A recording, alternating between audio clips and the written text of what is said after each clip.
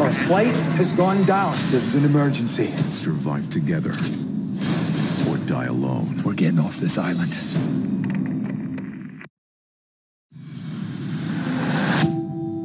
Captain Torrance, flight commander. How can I help you? Fugitive extradition. Oh, is he dangerous? What did he do? Homicide 15 years ago. I don't want to scare the rest of the passengers. I'm afraid you're stuck with us, Captain. Get him on board. Let's have a good flight. We're cutting right through the top of the storm. Let's keep everybody in their seats. No exceptions, all right? Getting everyone to have their seatbelts securely fastened. Mayday, mayday, mayday. Trailblazer 119, we are dark. Is anyone near guard, damn it? We're gonna hit. We're gonna hit.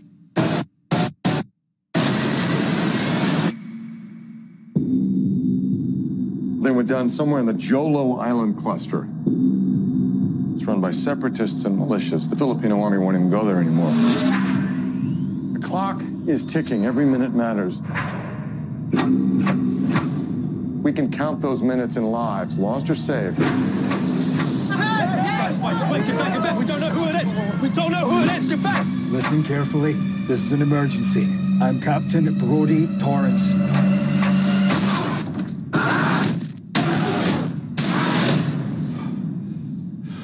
Like this guy. Name, country! Maxwell Carvel, England. Name, country. I gotta go after them. My passengers, my responsibility. I'm gonna need your help. You're gonna need this. Former military or something? You could say that. Why'd they lock you up? No one cares what really happened. But they say redemption can be found in the most unusual places. If you do this, you'll probably never see your family again. What about their families?